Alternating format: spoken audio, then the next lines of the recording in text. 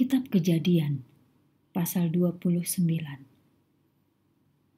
Yakub menemui Rahel. Kemudian Yakub meneruskan perjalanannya. Ia pergi ke negeri di timur. Ia melihat sebuah sumur di ladang. Di sana beristirahat tiga kawanan domba, terbaring dekat sumur, tempat domba minum air. Ada sebuah batu yang besar menutupi sumur itu. Apabila semua kawanan telah berkumpul di sana, gembala-gembala menggulingkan batu itu dari atas sumur. Semua domba dapat minum. Setelah domba-domba itu kenyang, gembala mengembalikan batu ke tempatnya semula. Yakub berkata kepada gembala itu, "Saudara-saudara, dari mana kamu?" Jawab mereka, "Kami dari Haran." Yakub mengatakan, "Apakah kamu mengenal Laban, anak Nahor?" Jawab mereka, "Kami mengenal dia." Yakub mengatakan, "Apa kabarnya?" Jawab mereka, ia sehat. Segala sesuatu baik. Lihatlah, anaknya Rahel datang dengan domba-dombanya. Yakub mengatakan, "Lihatlah, hari masih siang, matahari masih lama supaya terbenam. Belum waktunya untuk mengumpulkan ternak pada malam hari. Berilah domba-domba itu minum dan kembalikan ke ladang." Mereka berkata, kami tidak dapat melakukan itu hingga semua kawanan domba berkumpul. Kami mengangkat batu itu dari atas sumur, dan semua domba akan minum. Ketika aku berbicara dengan mereka, Rahel datang dengan domba ayahnya. Tugasnya adalah menggembalakan domba. Rahel ialah anak Laban. Laban saudara Ribka, ibu Yakub.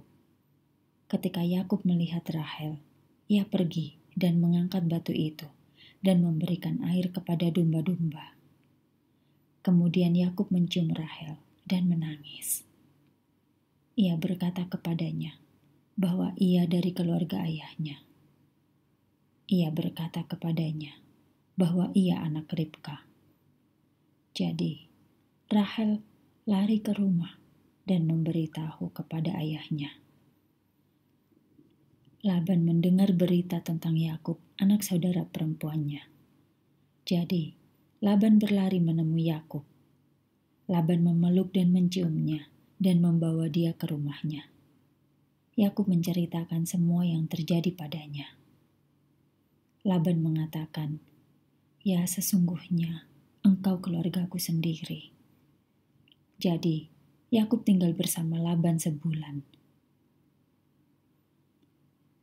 Laban menipu Yakub. Pada suatu hari, Laban berkata kepada Yakub, "Engkaulah keluargaku sendiri. Tidak baik bagimu terus kerja untukku tanpa dibayar. Apa yang harus kubayar?" Laban mempunyai dua anak. Yang tua ialah Lea, dan yang muda Rahel. Mata Lea lemah, tetapi Rahel cantik.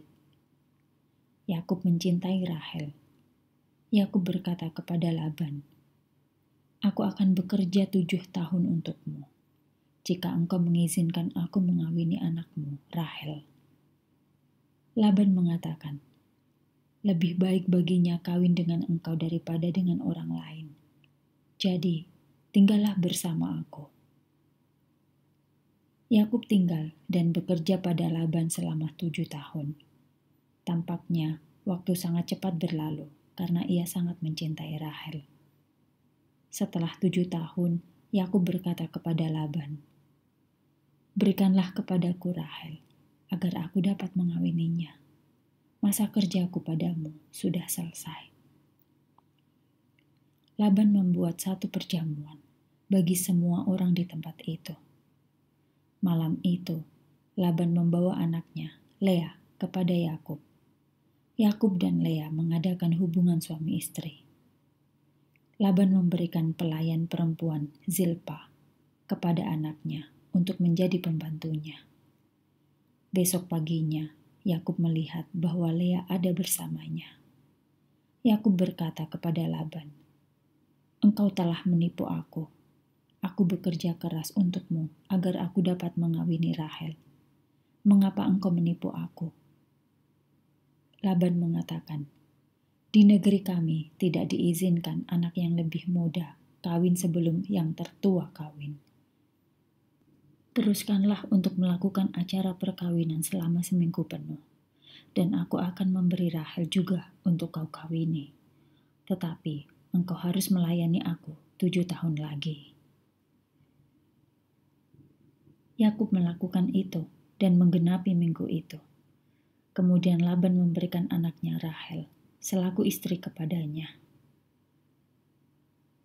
Laban memberikan pelayan perempuannya Bilha kepada anaknya Rahel menjadi pembantunya.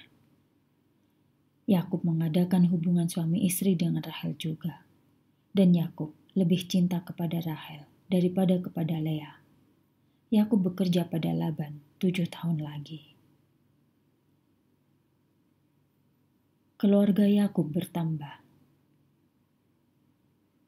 Tuhan melihat bahwa Yakub lebih mengasihi Rahel daripada Lea. Jadi, ia memungkinkan Lea mempunyai anak, tetapi Rahel tidak mempunyai anak. Lea melahirkan seorang anak. Ia menamainya Ruben. Ia menamainya demikian karena ia mengatakan, Tuhan telah melihat kesusahanku. Suamiku tidak mengasihi aku. Jadi, sekarang mungkin suamiku akan mengasihi aku. Lea mengandung lagi dan mempunyai anaknya yang lain.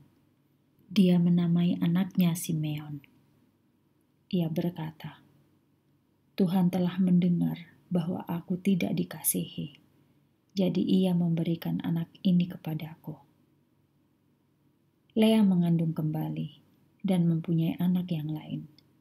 Dia menamai anak itu Lewi. Ia berkata, "Sekarang pasti suamiku mengasihi aku, aku telah memberikan tiga anak laki-laki kepadanya. Lea melahirkan anak yang lain. Dia menamai anak itu Yehuda. Lea menamainya demikian karena ia mengatakan, "Sekarang aku memuji Tuhan." Lea berhenti melahirkan anak.